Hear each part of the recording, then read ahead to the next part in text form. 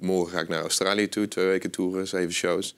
Ja, maart, zoals je al zei, ben ik heel de maand in Amerika. Het is gek hoe het kan lopen. Ik- Je begint over mijn nieuwe single Gold, die heel lekker gaat, eh, met Kate Ryan. Eh, maar er is een plaat die eh, nog vijf keer zoveel streams pakt op dit moment... waar heel veel mensen hier in Nederland bijvoorbeeld niks van weten. Toen dacht ik ook van, in hoeverre draag ik daaraan bij? Nou, heel erg, want ik vlieg heel veel. Ja. Eh, festivals zijn over het algemeen best vervuilend.